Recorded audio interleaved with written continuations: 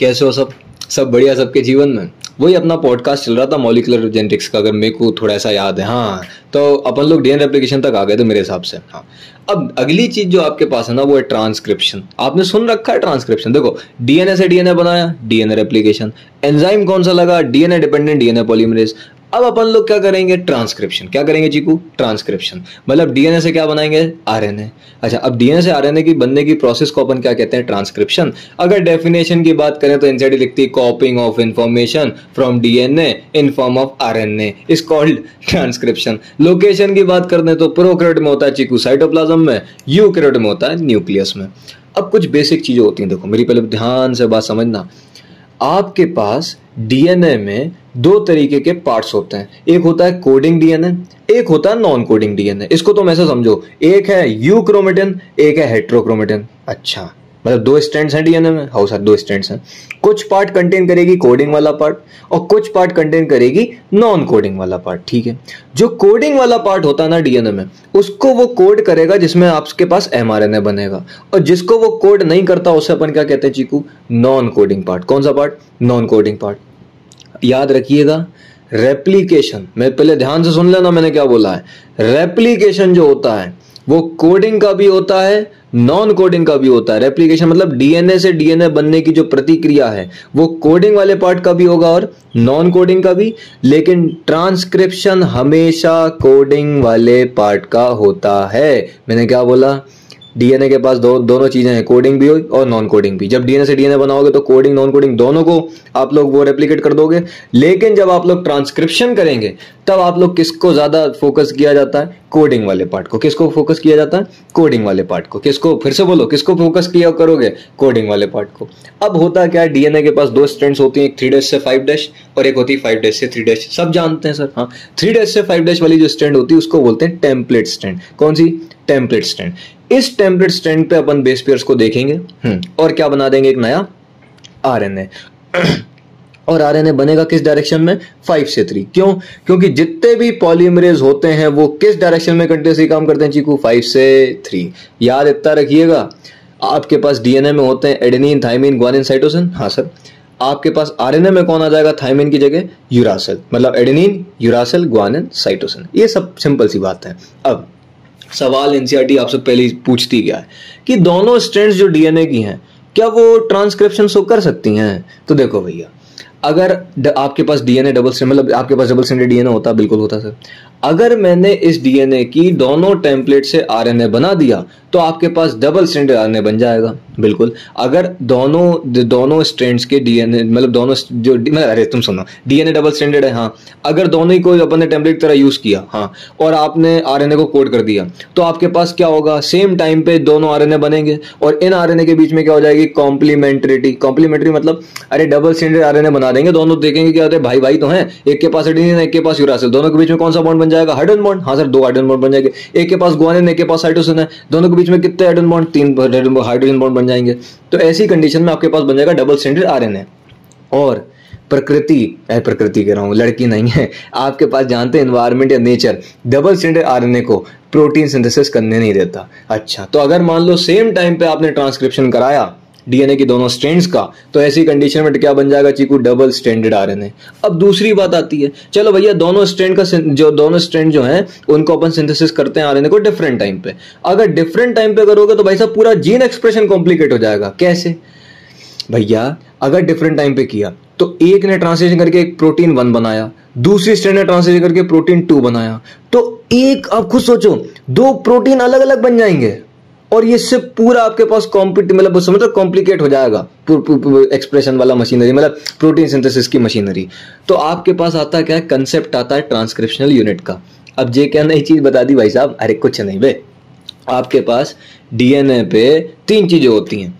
जहाँ से रेप्लीकेशन जहाँ से ट्रांसक्रिप्शन स्टार्ट होता है, उसे अपन कहते हैं प्रमोटर क्या कहते हैं? प्रमोटर जिसका आप लोग ट्रांसक्रिप्शन करोगे, उसे कहेंगे स्ट्रक्चरल जीन और जहाँ पे खत्म कर दोगे, उसे कहोगे टर्मिनेटर क्या कहोगे? टर्मिनेटर मैंने क्या बोला? प्रमोटर स्ट्रक्चरल जीन और लास्ट में कौन है? टर्मिनेटर ठीक है। अब प्रमोटर वाला जो रीजन होता है ना हेलो कौन सा रीजन प्रमोटर वाला।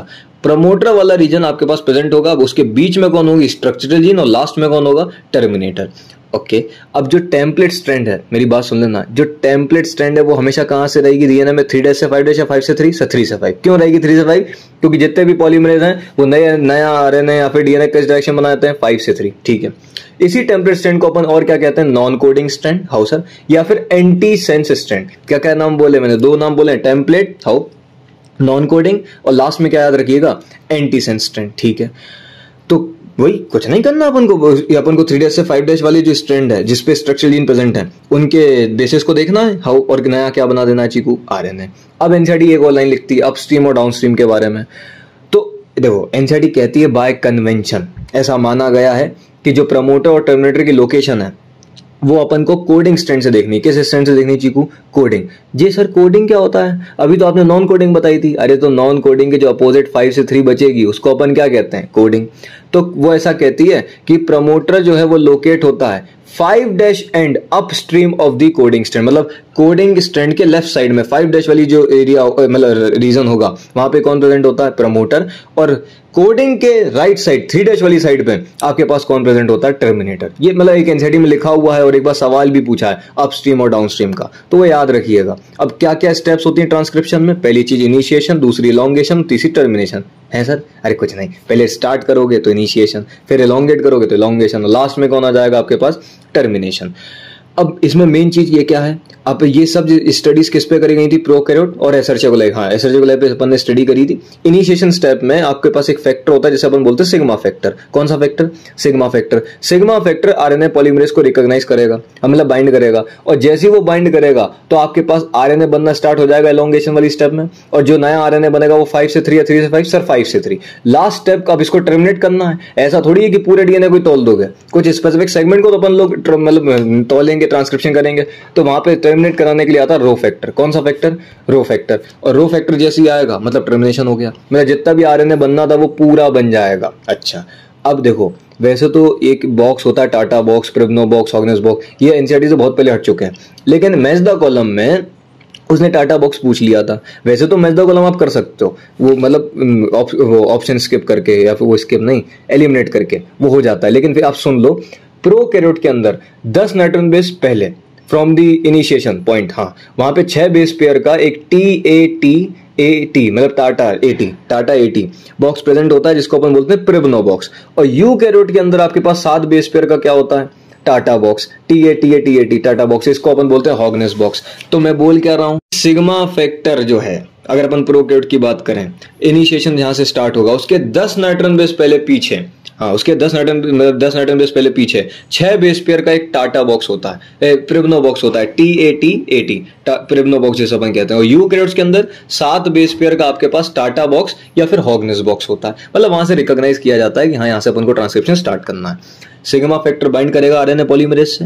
प्रमोटर वाली साइट पे और आपके पास नया क्या बनना स्टार्ट हो जाएगा? एमआरएनए अब एमआरएनए को टर्मिनेट करना है तो टर्मिनेशन वाले के लिए कौन सा फैक्टर आ जाता है चीकू? रो फैक्टर ये जब पूरी प्रोसेस चल रही होती है तो ये, ये इसको अपन बोलते हैं ट्रांसक्रिप्शन बबल कौन सा बबल ट्रांसक्रिप्शन बबल छोटी मोटी चीज़ें हैं जो फालतू दिमाग मत लगाना इसमें बस इतना याद रखना। एक जो सवाल उसने पता बहुत मज़ेदार पूछा था कि डी मतलब आपके पास ट्रांसक्रिप्शन में हाँ ट्रांसक्रिप्शन में सबसे पहला एंजाइम कौन सा आता है? उसने पहला ऑप्शन दिया था हेलिकेज और मैक्सिमम बच्चों ने पता हेलीकेज लगाया था। भैया हेलीकेज हाइडन तोड़ने के लिए डीएनआर एप्लीकेशन में आता था, ना कि ट्रांसक्रिप्शन में।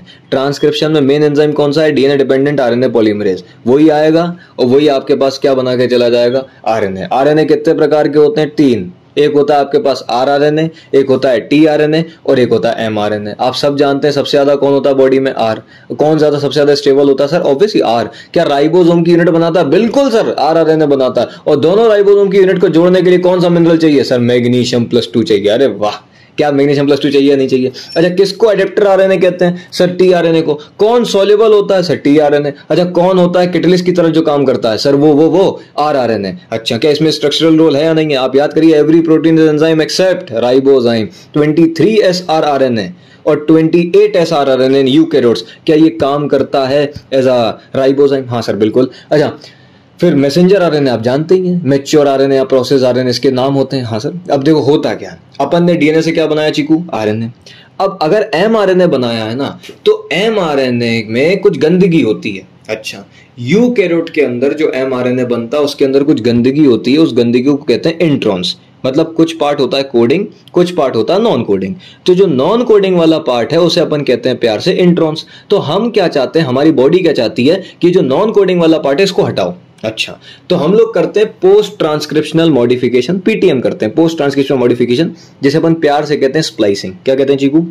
स्प्लाइसिंग और ये भी कहाँ पे होता है? न्यूक्लियस में। कहाँ पे होगा? न्यूक्लियस में। प्रोकैरियोट या यूकैरियोट सही यूकैरियोट ऑब्वियसली अच्छा अब देखो, अगर अपन इसकी बात करें तो स्प्लाइसिंग कराने के लिए पहले इतनी सी आप बात समझो। डीएनए से जब आपने आरएनए बनाया तो ये आरएनए गंदा था। उस आरएनए को एक कहते हैं अपन H N R N heterogeneous nuclear RNA तो हम क्या चाहेंगे? इसमें दो पार्ट होते हैं एक्सॉन्स और इंट्रॉन्स एक्सॉन्स को कहते हैं कोडिंग पार्ट इंट्रॉन्स को कहते हैं नॉन कोडिंग पार्ट हम करेंगे कुछ नहीं इंट्रॉन्स को निकाल देंगे एक्सॉन्स को रख लेंगे।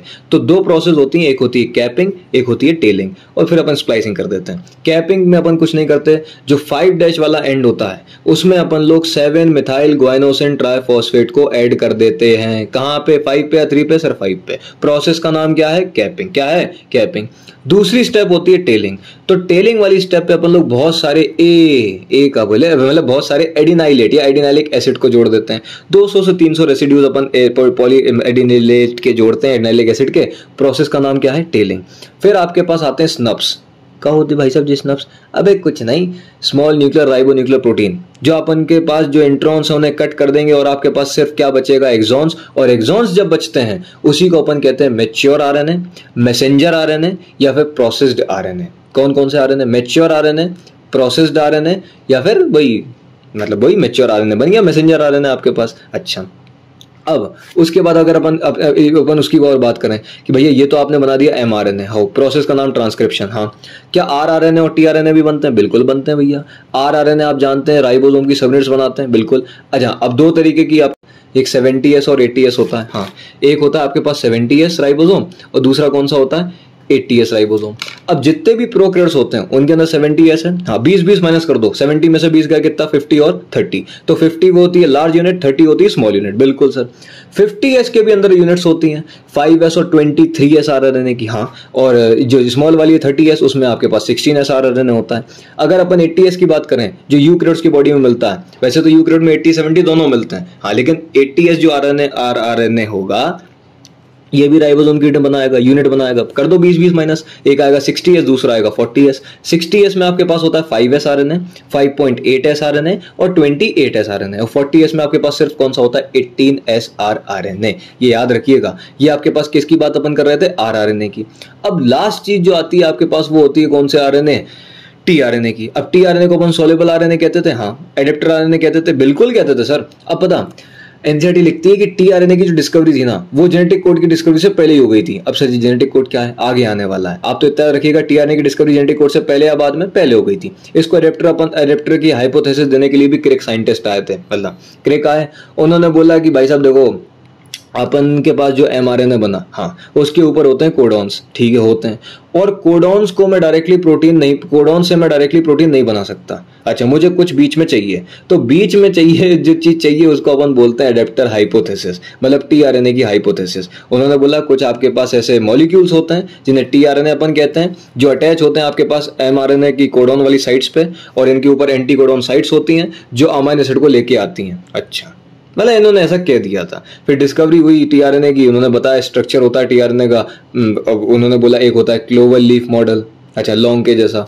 अच्छा जिसमें बहुत सारे लूप्स बनते हैं। अच्छा फिर वहाँ पे अमाइनो एसिड बाइंड करता है। इसको सेकेंडरी स्ट्रक्चर वो कहते हैं। फिर आपके पास फंक्शनल स्ट्रक्चर जो होता है टीआरएनए का, वो थ्री डिग्री मतलब टर्शरी स्ट्रक्चर होता है, जो कि इन्वर्टेड एल शेप का होता है। अच्छा इन्वर्टेड एल शेप का, वहाँ पे अमाइनो एसिड को बाइंड करेंगे अपन। और अमाइनो एसिड को बाइंड करके एमआरएनए के ऊपर कोडॉन्स को रीड करेंगे और जिससे आपके पास क्या बनेगा प्रोटीन की एक चेन अच्छा ये सब फालतू मतलब फालतू की चीज़ नहीं है इंपॉर्टेंट चीज़ें, याद रखिएगा। फिर इसके बाद जो मेन चीज़ स्टार्ट होती है ना कंपैरिजन वैसे तो कंपैरिजन नहीं करना चाहिए कभी भी, आप समझ रहे हो? बेकार चीज़ होती है कंपैरिजन तो प्रोकैरियोट और यूकैरियोट सेल के अगर कंपैरिजन की अगर अपन बात करें ट्रांसक्रिप्शन और ट्रांसलेशन प्रोकैरियोट में कपल्ड होता है। कपल्ड मतलब दोनों ही साथ में चलता है। ऐसा देखा गया है कि ये दोनों चीज़ें साइमल्टेनियसली चलती हैं प्रोकैरियोट में। कौन? ट्रांसक्रिप्शन और ट्रांसलेशन लेकिन यू कैरोट के अंदर पहले ट्रांसक्रिप्शन होता है, बिल्कुल। फिर ट्रांसक्रिप्शन के बाद आप लोग क्या करोगे? वो पोस्ट ट्रांसक्रिप्शन मॉडिफिकेशन जिसे अपन कहते हैं स्प्लाइसिंग हाँ। और फिर लास्ट में कौन होता है? ट्रांसलेशन तो अपनी बॉडी में ये चीज़ें कपल्ड फॉर्म में नहीं चलती। याद रखिएगा डीएनए एप्लीकेशन अपनी बॉडी में न्यूक्लियस में होता है ट्रांसक्रिप्शन न्यूक्लियस में होता है स्प्लाइसिंग भी न्यूक्लियस में होती है, फिर न्यूक्लियर पोर्ट से कौन बाहर निकलता है? एम आर एन ए वो साइटोप्लाज्म में जाके मतलब इंतज़ार करेगा टी आर टीआरएनए का और राइबोसोम का, ताकि वो क्या स्टार्ट कर सके? आपके पास वही प्रोटीन सिंथेसिस क्या स्टार्ट कर सके चीकू?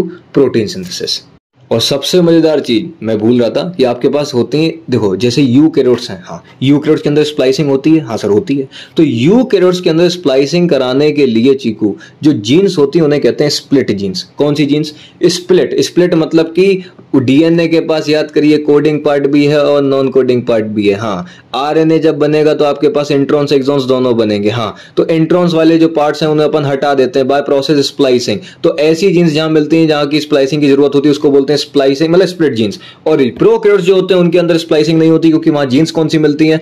नॉन स्प्लिट जीन्स इसी को एनसीडी क्या लिखती है?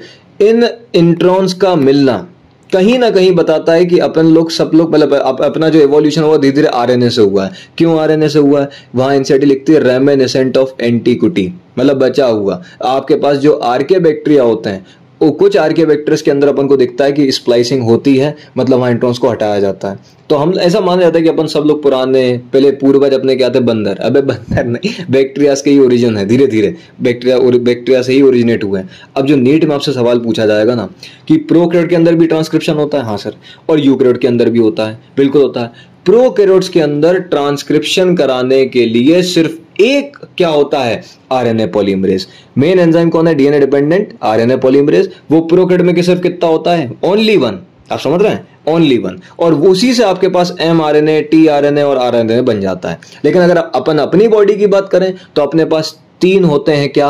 आरएनए पॉलीमरेज जो आरएनए पॉलीमरेज वन है, जितने भी एट वाले आपके पास यूनिट्स हैं राइबोसोम की, वो सब बना देगा। मतलब 28s 5.8s और आपके पास 18s ये कौन बना देता है? आरएनए पॉलीमरेज वन और आरएनए पॉलीमरेज टू मिडिल में आ रहा है? हाँ मतलब वन टू थ्री के टू मिडिल में आ रहा है। तो ये बनाता है M R N A Cheeku कौन सा आरएनए बनाएगा एम आर एन ए और जो लास्ट में आता है आरएनए पॉलीमरेज थर्ड जिसको अपन थ्री कह सकते हैं थ्री हाँ। तो जो टी आर एन ए बनाता है। किसको बनाता है? T R N A five S R N A S N R N A और S C R N A ये रिपीटेड सवाल हैं बार बार पूछे गए तो इसको एज इट इज़ आप लोग याद रखिएगा। समझ रहे हैं? अब, एक बहुत मज़ेदार चीज़ है कंसेप्ट ऑफ़ जीन्स की। अच्छा देखो, दो तरीके की चीज़ें होती हैं। एक होता है सिस्ट्रॉन, एक होता है जीन। मतलब सर याद करिए, अभी मैंने बात करी थी ट्रांसक्रिप्शन बबल की। हाउ ट्रांसक्रिप्शन बबल में आप देखिए ट्रांसक्रिप्शन पहले होता है प्रमोटर फिर होता है स्ट्रक्चरल जीन और लास्ट कौन होता है टर्मिनेटर मैंने आपसे बोला था, जो स्ट्रक्चरल जीन है, उन्हें अपन रीड करेंगे और क्या बना देंगे, नया एम आर एन हाँ या ना? हाँ सर, बोला तो था।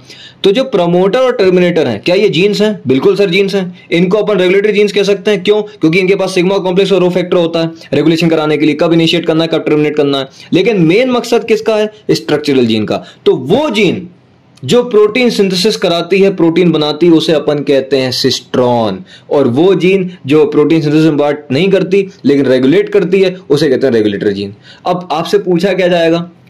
क्या सब जीन सिस्ट्रॉन होती हैं? नहीं। सिर्फ़ स्ट्रक्चरल जीन सिस्ट्रॉन होती है। हाँ सर, बात तो सही है। जिसका ट्रांसक्रिप्शन और ट्रांसलेशन हो अपन क्या कहते हैं? सिस्ट्रॉन और नॉर्मली जो आपके पास जीन्स है, उन्हें अपन जीन्स कह सकते हैं। तो प्रमोटर टर्मिनेटर क्या है? नॉर्मल जीन्स और स्ट्रक्चरल जीन्स जो होती हैं, उन्हें अपन प्यार से क्या कहते हैं? सिस्ट्रॉन तो एक लाइन आपसे पूछी जाएगी ऑल सिस्ट्रॉन्स आर जीन क्या जितने भी सिस्ट्रॉन सब जीन्स होते हैं? हाँ बात सही है। लेकिन जितने भी जीन्स हैं, वो आपके पास सिस्ट्रॉन नहीं होते। ये याद रखना मेरे भाई, याद रखना, याद से। स्प्लाइसिंग हो गई स्प्लिट जीन्स हो गई। अब लास्ट चीज़ जो आपके पास बचेगी, वो है जेनेटिक कोड चलो इसको भी सुन लो जेनेटिक कोड अब जेनेटिक कोड फिर लास्ट लेक्चर में अपन ट्रांसलेशन ये सब खुद दूसरी चीज़ें निपटा देंगे। अब जेनेटिक कोड एक साइंटिस्ट थे जिनका नाम था जॉर्ज गमाऊ कौन थे? गवार नहीं जॉर्ज गमाऊ बहुत समझदार साइंटिस्ट थे उन्होंने बोला कि भाई साहब, आपकी बॉडी में होते हैं जेनेटिक कोड कौन होते हैं? जेनेटिक कोड अरे सर जी कोड कोड क्या करे जेनेटिक कोड देखो, ध्यान से सुनना। आपने डीएनए से बनाया आरएनए हाउ सर? एमआरएनए बना लिया, उसकी स्प्लाइसिंग करा दी। हाउ? आपके पास मेच्योर आरएनए बन गया न्यूक्लियर पोर से आपने बाहर बुला लिया साइटोप्लाज्म में। एमआरएनए के ऊपर होते हैं कोडॉन्स क्या होते हैं? कोडॉन्स मतलब इंफॉर्मेशन होती है कि आपको कौन सा प्रोटीन बनाना है। ठीक है सर अब इसको रीड करने के लिए मुझे टीआरएनए चाहिए। तो एमआरएनए के ऊपर कोडॉन्स को रीड करने के लिए टीआरएनए आएगा। तो इन्होंने बताया कि भाई साहब जेनेटिक कोड होते हैं। अब पता कैसे चले, भैया जेनेटिक कोड ट्रिपलेट है डबलेट है या सिंगलेट है? समझ रहा हूँ? तो उसको डेसीफर कैसे किया जाए? अच्छा कौन कौन मतलब कौन सा कोडॉन किस अमाइसिड को कोड करता है? तो उसके लिए उन्होंने दिमाग लगाया, बोला कि भाई साहब, देखो, आपके पास कितने अमाइसिड होते हैं? बीस। तो अगर बीस अमाइनो एसिड हैं और अगर कोडॉन को मैं सिंगल लूँ, जैसे ए यू जी लिखा है तो मैं सिर्फ़ ए वाले को लूँ तो आपके पास सिर्फ़ बीस कोडॉन चाहिए। बीस अमाइनो को कोड करने के लिए। हाँ सर वैसे बात तो सही है कह सकते हैं अपन। और अगर अपन इसकी बात करें, अगर डबलेट होते वो ए ए साथ में आता ए जी साथ में आता ओ जी ओ जी तो नहीं आएगा यू जी साथ में आता तो ऐसी कंडीशन में आप कहते हैं कि आपके पास डबलेट है ट्रिपलेट है। तो उन्होंने बोला, भैया देखो, ज़्यादा दिमाग मत लगाओ। जेनेटिक कोड जो होते हैं वो ट्रिपलेट होते हैं। क्यों ट्रिपलेट होते हैं? क्योंकि आपके पास टोटल न्यूक्लियोटाइड्स होते हैं चार एडेनिन थाइमिन ग्वानिन साइटोसिन हाँ सर बिल्कुल। और आरएनए में एडेनिन यूरासिल ग्वानिन साइटोसिन और टोटल अमाइनो आपको कितने कोड करने हैं? बीस। तो अगर अपन फोर की पावर थ्री करेंगे तो आपके पास कितना आएगा? सर फोर की पावर थ्री सिक्सटी फोर आएगा? हाँ सिक्सटी फोर कोडॉन्स आपके पास लगते हैं बीस अमाइनो को कोड करने के लिए। अब इन्होंने कह दिया जो बात। अच्छा लेकिन इनकी बात नहीं मान रहे थे लोग बाग। उन्होंने बोला, भाई साहब, अगर तुम ऐसा कह रहे हो कि आपके पास 64 कोडॉन्स होते हैं, जो कोड करते हैं 20 अमाइनो एसिड को तो ऐसा कैसे हो सकता है सर आप खुद सोचो, एक ताले को खोलने के लिए इस हिसाब से चाबी तो बहुत सारी हो गई। मतलब अरे, एक अमाइनो को कोड करने के लिए, क्या बहुत सारे कोडॉन्स हुए या नहीं हुए? हाँ बात तो सही कह रहे हो यार। और फिर इन्होंने बोल भी दिया कि तीन भाई साहब होते हैं नॉन सेंस कोडॉन जिन्हें अपन स्टॉपिंग कोड ऑन कह देते हैं? यू ए ए जिसे अपन प्यार से कहते हैं यू आ यू ए जी जिसे अपन प्यार से कहते हैं यू आग और लास्ट आपके पास कौन है? यू जी ए जिसे अपन प्यार से बोलते हैं युगा तो यू आ यू आग युगा ये सब स्टॉपिंग कोड हो जाते हैं। मतलब उन्होंने कह दिया? लेकिन उनकी बात को फिर धीरे धीरे माना भी गया कि उन्होंने बोला कि आपके पास जो जेनेटिक कोड है उसके कुछ फीचर्स होते हैं। फीचर्स के पहले आप एक, चीज़ और सुनिए। कुछ साइंटिस्ट थे जिससे पहले आपने आपने पढ़ा जॉर्ज गमाऊ इनका 2020 में सवाल पूछा गया था कि जॉर्ज गमाऊ मतलब जेनेटिक कोड की टर्म किसने दी थी? की जेनेटिक को ट्रिपलेट के, ट्रिपलेट किसने बताया था? जॉर्ज गमाओ फिर एक साइंटिस्ट है जिनको बोलते हैं निरनबर्ग। क्या बोलते हैं? निरनबर्ग। इन्होंने सेल फ्री सिंथेसिस कर दिया था प्रोटीन का। अच्छा।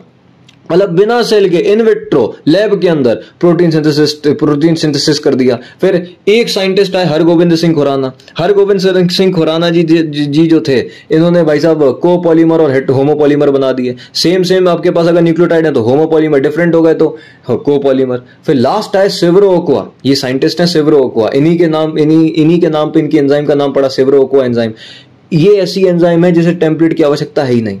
अच्छा अभी अपन ने याद करो डीएनए से आरएनए बनाया तो, तो एक थ्री से फाइव डेशन को अपन ने बोला टेम्पलेट स्टैंड हाँ। हम क्या कर रहे हैं इसमें एंजाइम में टेस्ट ट्यूब ले रहे हैं न्यूक्लियोटाइड्स डाल रहे हैं और वो आपके पास क्या बना देगी पूरा आरएनए इसको बोलते हैं टेम्पलेट फ्री आरएनए सिंथेसिस और एंजाइम का नाम क्या है? पॉली न्यूक्लियोटाइड फोस्फोराइलेज और साइंटिस्ट सेवरो तो उन्हीं के नाम पे सेवरो ओको एंजाइम की बात कर दी। अब जो सेलियंट फीचर साइलेंट फीचर जो होते हैं जेनेटिक कोड के, पहली चीज़ क्या है? जेनेटिक कोड ट्रिपलेट है डबलेट से ट्रिपलेट आपके पास 64 कोड्स होते हैं, जिसमें से 61 कोडोन आपके काम के हैं, तीन है nonsense codon U A U आग और यू गा ये याद रखिएगा.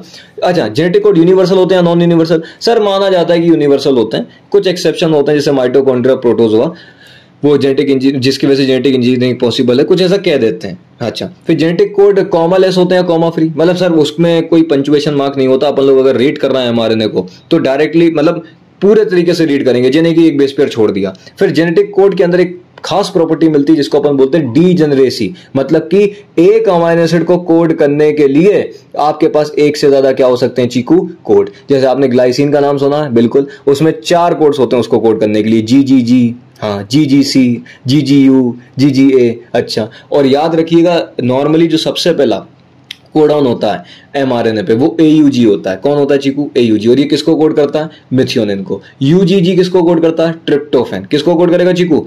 ट्रिप्टोफेन और U U U only you I love you वो किसको कोड करता है? फिनाइल को। फिर उसके बाद बोलता है कि जेनेटिक कोड जो है अनएम्बिगियस है एम्बिगियस मतलब कोई कंफ्यूजन नहीं होता आपके जैसे। अगर ए आया तो मेथोनिन ही आएगा। कोई डाउट टीच नहीं है। अच्छा और फिर ए हमेशा स्टार्टिंग कोड ऑन रहेगा? बिल्कुल रहेगा सर। और और उसमें क्या पूछा जा सकता है आपसे? हाँ यू यू यू किसको कोड करता है? फिनाइल एलेनिन को। और सबसे पहला जो कोड ऑन जिसको अपन डेसेफर किया था, पता किया था कि किसको कोड करता है, वो कौन था? यू यू यू याद रखिएगा कोड ऑन यूनिवर्सल होते हैं, कुछ एक्सेप्शन होते हैं, जैसे mitochondrial DNA of mammals and yeast उस, उसमें मतलब क्या होता कुछ नहीं है, जैसे अगर तुम सुनना चाहो, वैसे अगर आ गया सवाल तो बहुत बढ़िया। जो UGA होता है, वो कोड कर देता है ट्रिप्टोफेन को। अब हम जानते हैं यू एक स्टॉपिंग कोडॉन है, लेकिन माइटोकॉन्ड्रियल डीएनए ऑफ़ मैमल्स और ईस्ट की बॉडी में ये जो यूजीए है, वो कोड कर देता है ट्रिप्टोफेन को। Otherwise it is stopping codon तो कुछ एक्सेप्शन है, एक ही जगह एक्सेप्शन है, और जगह कहीं एक्सेप्शन आपको नहीं मिलता। अच्छा फिर इसके बाद अपन देखेंगे म्यूटेशन और जेनेटिक कोड तो वो अपन अगले लेक्चर में देखते हैं, क्योंकि वैसे ही वीडियो लंबा हो गया है,